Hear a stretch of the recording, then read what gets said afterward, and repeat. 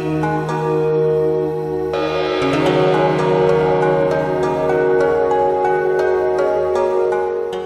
name is Scott, and I've been involved in the virtual reality scene here in Japan since 2016 by actively promoting AR, MR, VR functions such as tonight, as well as attending XR trade and XR game shows. This evening, we're going to take a little journey together where I'll talk about the various different haptic systems for virtual reality. So, VR haptics add tactile feedback to virtual environments, enhancing immersion by letting users feel interactions like touch, impact, temperature, and in some cases, we'll learn about temperature. The rise in VR gaming, professional simulations, and social VR experiences has increased the demand for immersive haptics, drawing the attention to third party innovations. We'll examine the current VR haptics market, spotlight two leading companies, and take a look at Japan's con contribution to haptics development. So let's dive into the current state of VR haptics marketplace, focused on several key topics. The first one is in the VR haptics industry, in VR itself, the growth factors. Growth is spurred by advances in VR tech, from software advancements to hardware expansions, pushing the boundaries of what users can experience. So, who are the key players in this in this field right now? While large VR companies like Meta, Pico, Sony are incorporating basic haptics into their HMDs, it's the third-party companies who are pushing the envelope with specialized, high-fidelity, high, high haptic devices. And they face some certain challenges. High costs, compatibility issues, and battery life continue to challenge VR haptic innovation. And developers must make devices that are both immersive and practical for long-term use. There is something that comes up which we call limited immersion. That is the difference between seeing and feeling with limited interactive feedback are some of the challenges that VR haptic makers have to overcome. There's one other thing which we have to deal with we call virtual misalignment.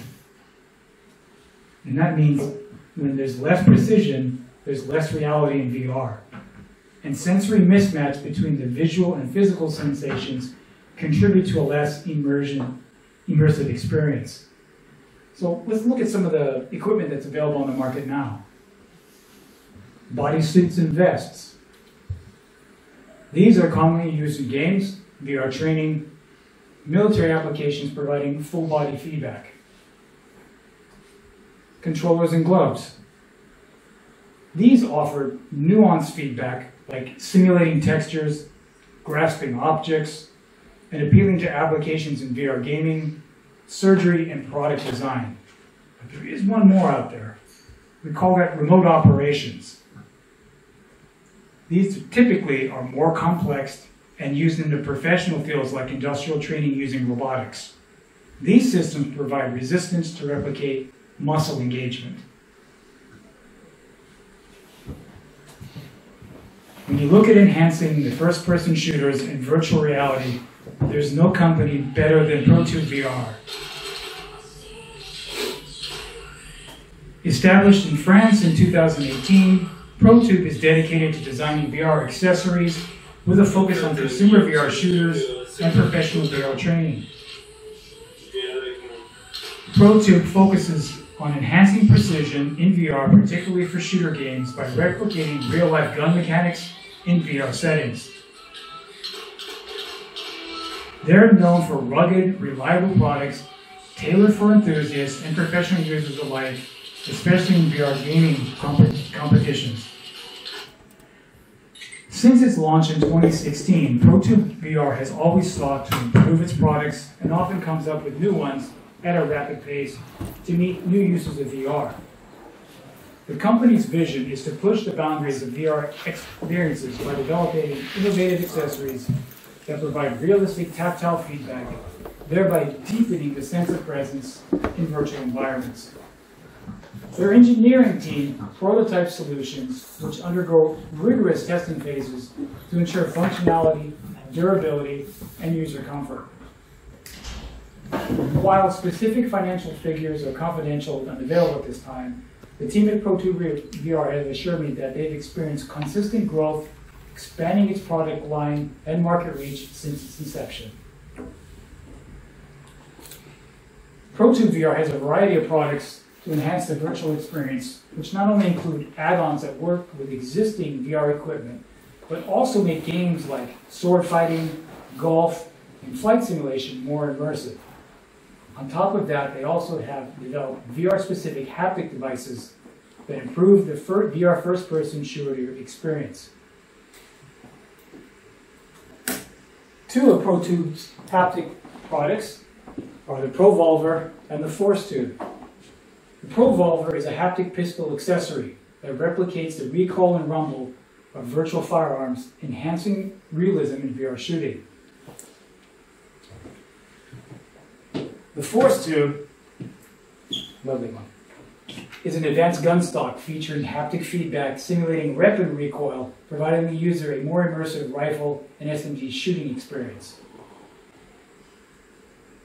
Developers can integrate their games with ProTube VR products by utilizing their haptic feedback technology. ProTube VR provides comprehensive documentation and support to facilitate seamless integration, ensuring that their game corresponds accurately with the physical feedback delivered by their accessories. The collaboration with developers enhances the immersive quality of VR applications, offering players a more tangible and engaging experience. Talk about integration, technically. From a simple integration that distinguishes between force tubes making it possible to manage Pro-Tomi's two force tubes differently, to what we call advanced integration, where developers can create new menu management, the various force tubes in different channels. In this way, by enabling force tubes to connect in any order and saving that location of said channel, makes the virtual weapon linked. ProTube VR use cases include consumer and professional gaming, where gamers use the accessories to achieve more precise aiming and heightened sense of realism in VR shooting and simulation gaming. Arcades and VRs that incorporate ProTube VR products to offer patrons immersive and interactive experiences. And finally, police, military, and training simulation to provide realistic weapon handling experiences. Next up is bHaptics. So let me talk about bHaptics.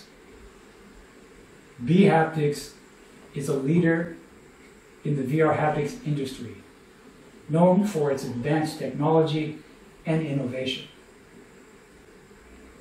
Founded in 2015 in South Korea, bHaptics specializes in haptic solutions designed for immersive in-gaming simulations and enterprise applications. The company is focused on creating untethered haptics that don't restrict user movement, thereby positioning bHaptics as a versatile VR haptics provider. Their products are compatible with various existing VR platforms like the Quest and soon the Pipico ensuring accessibility across gaming and training environments. Some of the key figures the business development team at bHaptics shared with me are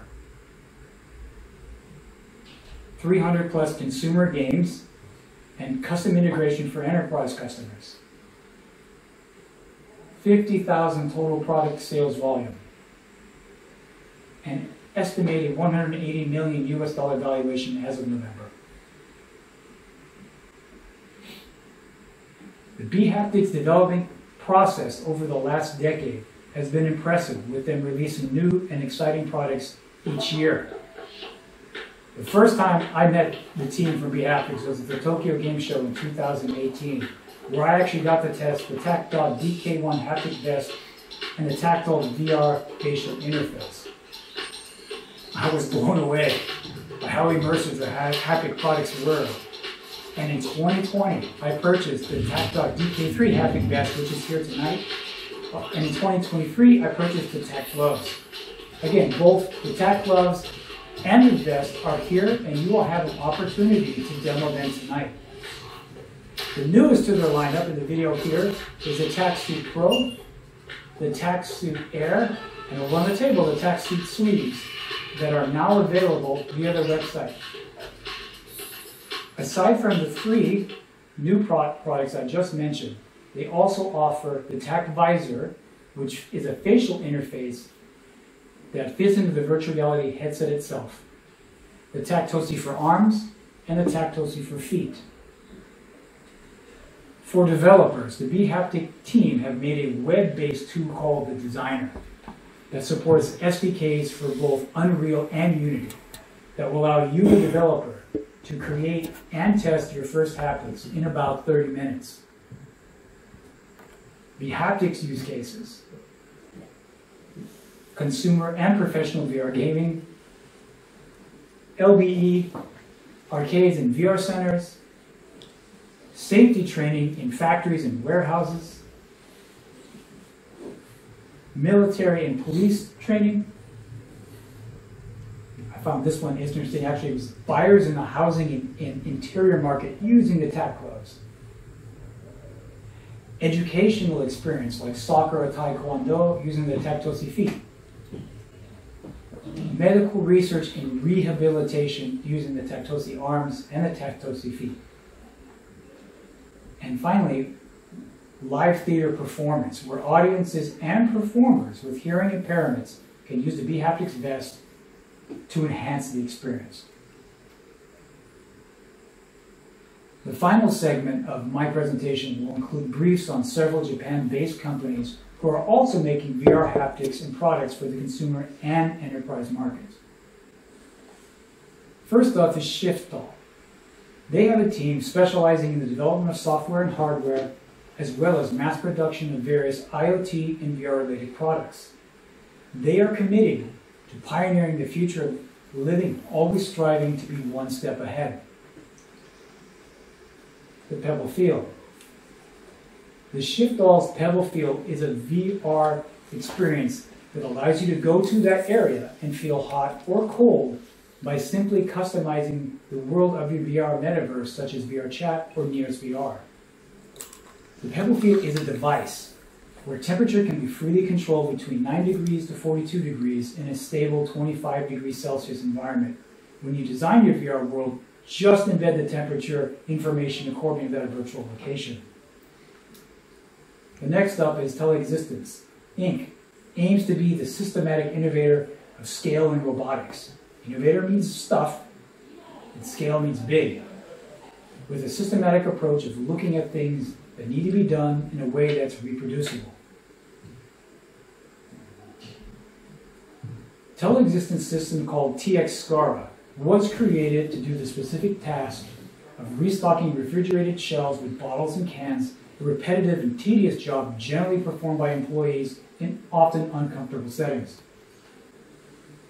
TX SCARA can be in operation 24-7, replenishing shelves at a pace of up to 1,000 bottles and cans per day, relying almost completely on its Aeon system known as Gordon to know when and where products need to be placed on the shelves. TX SCARA can also be operated remotely using VR, and they have implemented haptic feedback into the touch controllers, adding immersion for the user. The final Japanese company I want to talk about is H2L. H2L specializes in muscle feedback technology that stimulates muscle contractions to simulate touch and force feedback. H2L's technology has demonstrated, been demonstrated in gaming and remote control, control fields, giving users a sense of realistic touch from a distance. First VR. H2L's first VR haptic product is the world's first device equipped with 14 muscle displacement sensors that detect muscle bulges and provide haptic feedback. Compared to existing technology using muscle displacement sensors, this device has higher noise immunity to electromagnetic waves and perspiration, and can input intrinsic sensations, body position, movement, degree of exertion, to a computer with high accuracy. VR haptics are rapidly advancing and are essential to creating fully immersive virtual experiences. Companies like bHaptics and ProTube VR are shaping the market with high quality, specialized products. Japan's innovative contributions reflect a commitment to pushing the boundaries of VR haptics, particularly for professional applications. As VR adoption grows, so will the demand for third party haptics, helping to bridge the gap between the virtual and the physical worlds.